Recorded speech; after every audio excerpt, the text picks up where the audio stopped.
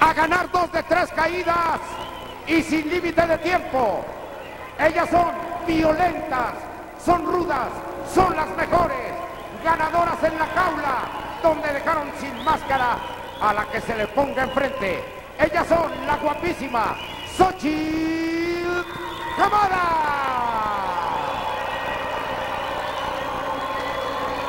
Y una de las señoras magníficas de los cuadriláteros, Miss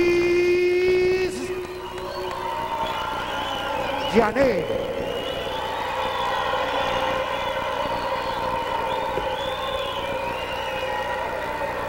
En el bando de las técnicas aparece la calidad. Y en primer término tenemos a Alda Moreno.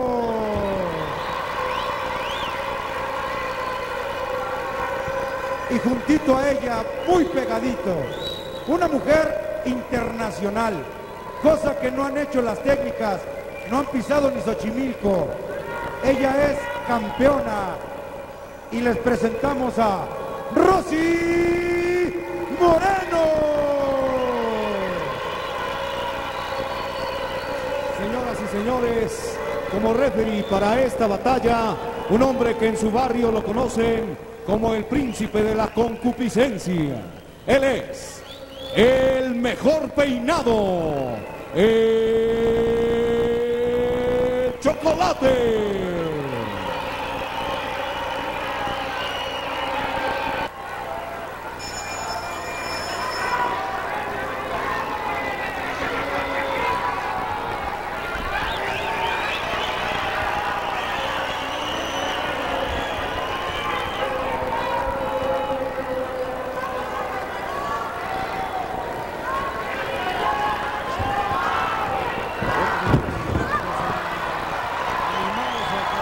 con esta gran función me parece será maravillosa. Gimnasio Olímpico Juan de la Barrera, cuántas cosas han ocurrido en este escenario a nivel luchístico y también a otros niveles, sobre todo a nivel olímpico. Desde hace ya un buen tiempo, más de un año, un año y medio aproximadamente, la AAA no había pisado este terreno y ahora está una vez más dándole gusto al gusto. Vienen las Moreno con una rivalidad muy marcada, muy fuerte, con las brujas conocidas así ahora y por nombres llamadas Miss Janet, la que vemos en la acción, y Xochitl Jamada. Una batalla que sin duda tendrá un pronóstico diferente en la voz de Arturo Rivera y en la voz de Andrés Maroñas. Conozcamos al hombre que siempre defiende esta causa, la de las Moreno. El señor Maroñas, ¿cómo está usted, señor? Muchas gracias, Jesús. Bueno, pues esta es una batalla, dos de tres caídas. Estas cuatro luchadores han sacado su mejor vestimenta para esta fiesta de postín, como se le puede llamar. Las Moreno contra Jamada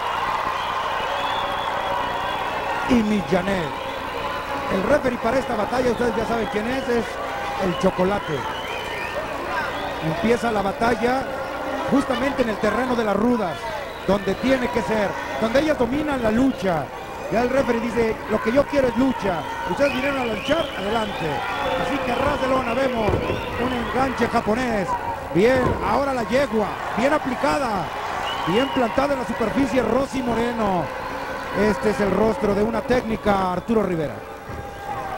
Bueno, cuando vamos a este candado al cuello para bajar a Rosy Moreno, Millanet, ahora en un enganche en la cintura, la pone con las espaldas no tan planas, por eso el referee cuenta, pero sí le está apretando el cuello de manera prodigiosa. Las guapas del cuadrilátero ahora le está poniendo un castigo con el cuello a las piernas, más bien las piernas al cuello de Millanet. Y aquí está, golpe, el doble golpe de la ruda. Bien por las bellezas, aquí las tienen, vean nada más. Privilegio enorme a través de Televisa Deportes, con un equipo de producción y técnico que es lo mejor del planeta Tierra. Vámonos para abajo, patadas voladoras. Está teniendo esa actividad después de tantos y tantos piques estas damas que no se podrán conocer ya. Tácticamente saben cada quien lo que hace cada cual. Y aún así buscan la variedad, buscan dónde hacer el castigo. Y jalón del cuero cabelludo es lo que está consiguiendo. Ángele, para que se eduque. Los que pagan los platos rotos es la piojiza. Y tomándola del cuero cabelludo vemos a Alda Moreno de un extremo a otro. Tanto Xochitl Jamada como Millanet están entregando un buen esfuerzo, sin embargo castigando me parece pues verdaderamente fuerte a Alda Moreno. Es la única manera de vencer a esta chaparrita, a esta mujer mexicana querida por la afición, que entrega su cariño, su emoción y el calor de sus ósculos a todos los aficionados que pasan cerca de ella.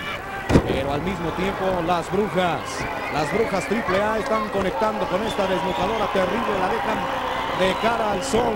Alda Moreno, ¿cuántas veces ha viajado al Japón? Muchísimas. Definitivamente una mujer que hoy ha delineado sus pestañas y ha puesto el mejor maquillaje sobre su rostro porque venía Andrés Marín. Sí, pues muchas gracias, yo no lo sabía, Jesús, pero si tú me lo dices, lo creo. Lo que se les olvidó consignar que las, que las rudas están atacando dos contra una. Eso no se vale, eso está prohibido. Pero creo que es lo que menos le importa al referee, porque nunca lo ha consignado. Y aquí repiten la dosis, dos contra una, contra la mujer que, que lleva el timón del destino de las técnicas, que es Rosy Moreno. Le caen con esas patadas voladoras y quedaron en el blanco. Ahora viene Alda nuevamente, pero creo que va a ser presa fácil porque están embaladas, tienen buen ritmo las rudas. Llegará la primera equivocación, la primera equivocación. Y vamos a ver si aquí lo pueden aprovechar las técnicas. Será terreno de rendición. Viene la quebradora, bien la perfectamente Alda Moreno. Puede ser el fin de la primera caída.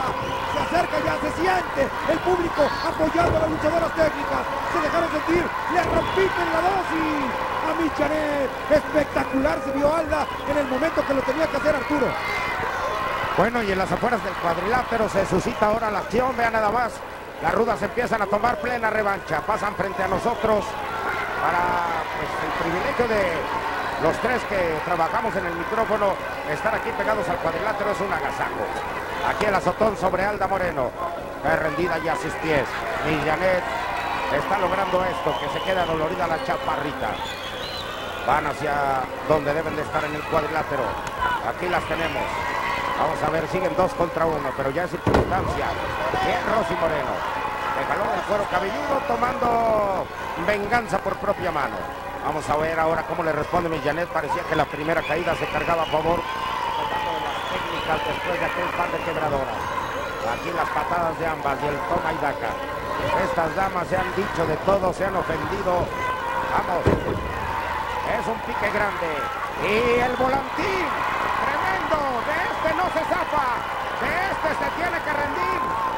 Se van cuántas, compadre, que le habrá hecho. No, no sé cuántas le dio, pero sí fueron las suficientes para dejarla fuera de combate, al menos por el momento. El chocolate con todos los tres está fuera. Xochitl llamada, la otra bruja. Es castigada con el Uno, dos. Y se tarda el chocolate, pero la derrota era inminente. Efectivamente, termina la primera caída en favor de la luchadora técnica que se brindan y finalmente salen con el resultado que es lo importante. Empezaron muy bravas las rudas, poco a poco las fueron bajando. Se queja Alda con el referee de que cuenta muy lento, es cierto, pero finalmente gana. Ahí tienen que guardar la postura las luchadoras técnicas y tratar de descansar unos instantes. Vamos a vivir nuevamente lo que sucedió. Aquí Rosy Moreno haciendo las cosas bien, llevándola. Y aquí preparaba el volantín. Una, dos, tres y venga. Con esa firmeza Rosy Moreno. Espectacular como, como una señorona de los cuadriláteros. Así podemos resumir esta primera caída que supo imponer condiciones en un momento difícil.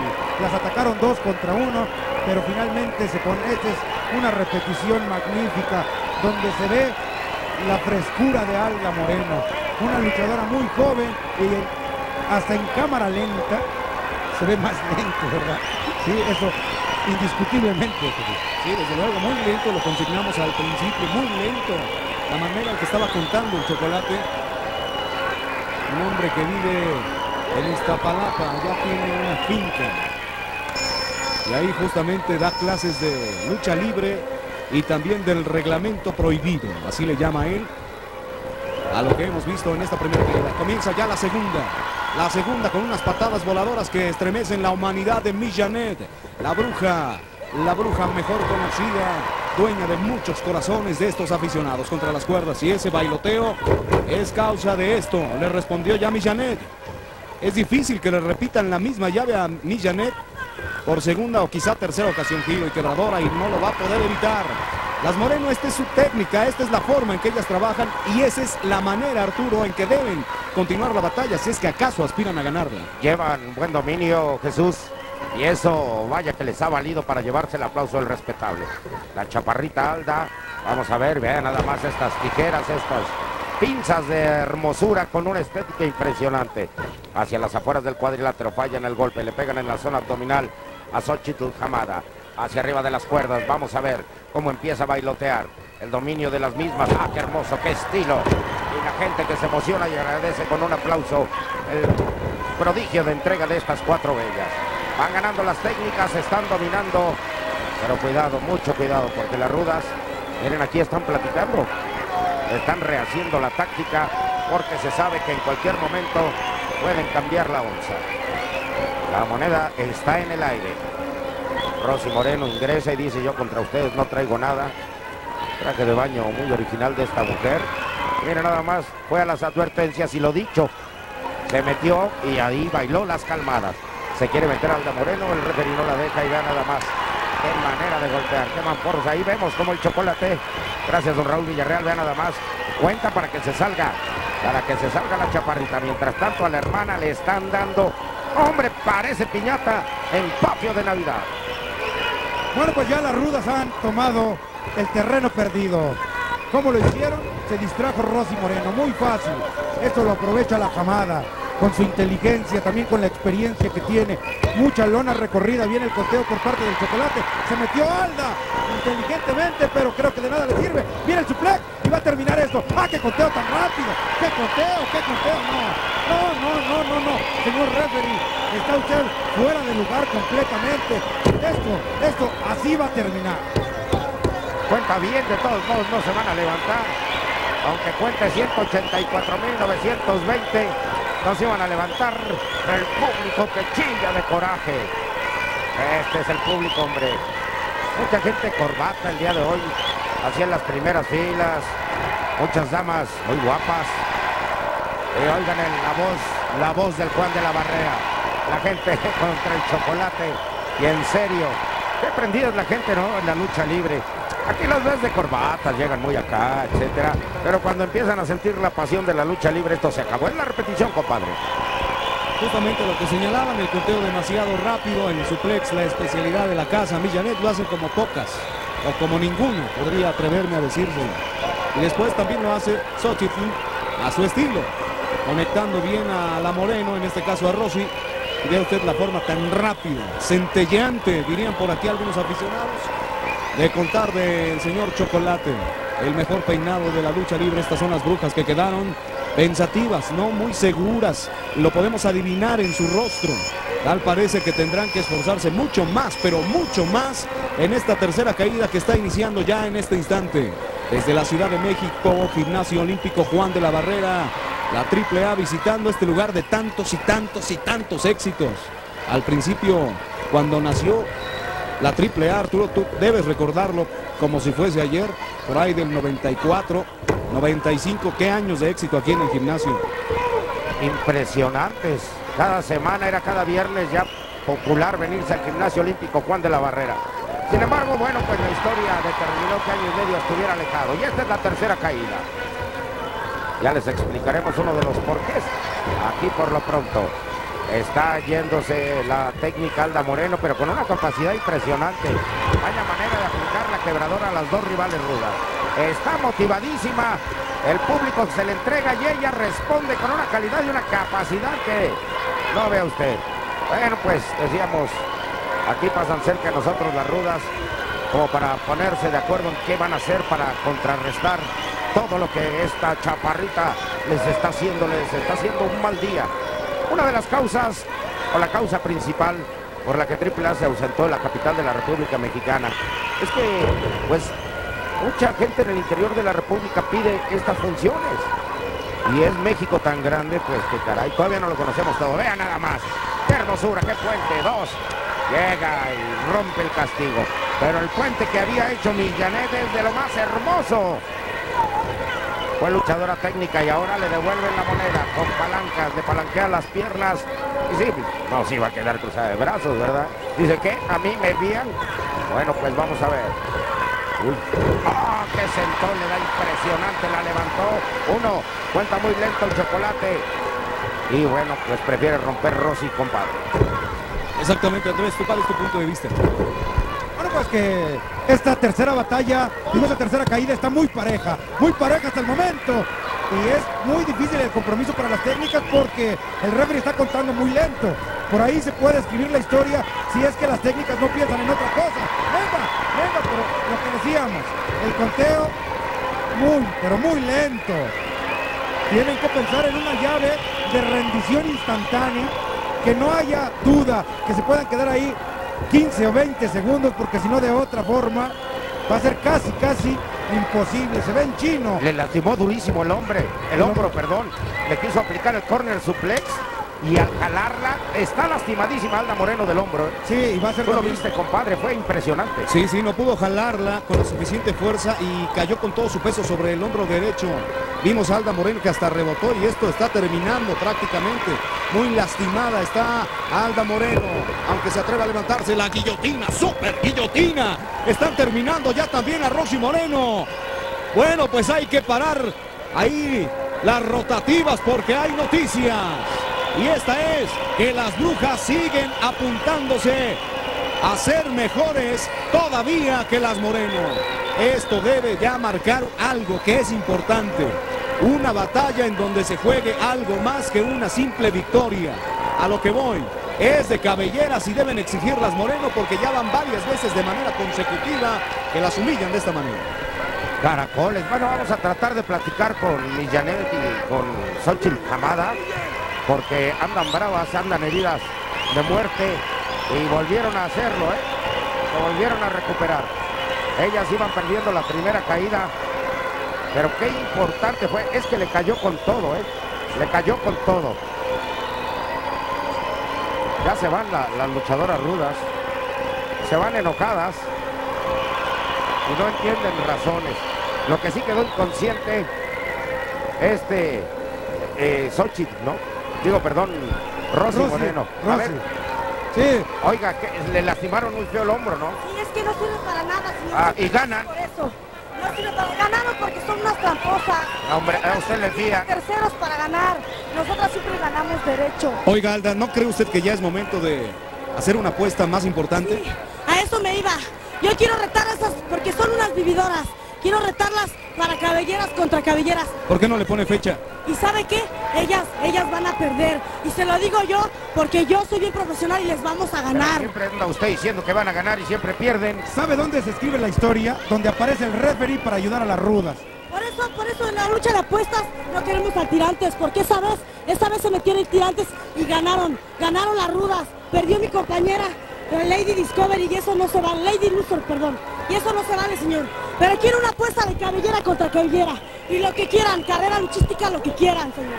No, pues ya no está usted con un pelón feo. Bueno, pues ahí quedó ya. Vamos, el doctor Horacio Ramírez Mercado, jefe de los servicios médicos de la comisión. Ve, aquí lo está jalando y al caer cae con el puro hombro.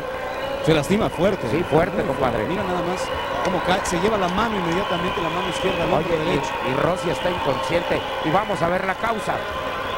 Vamos a ver la causa porque es impresionante, vean. El vuelo que toma y cómo le cae. Uh, no, no, Sobre el cuello, ¿eh? Sí, Sobre el cuello con todo el peso de Xochitl Hamada, que deben ser más de 60 kilogramos, y con la fuerza que lleva. Sí, no quiero. mucha violencia. No, no, no, eso es lo de menos, ¿verdad? Un kilo más, un kilo menos. No, no es por eso, simplemente que hay un buen tonelaje por parte de la camada, la deja inmóvil. Rápidamente subió el doctor Ramírez Mercado Sí.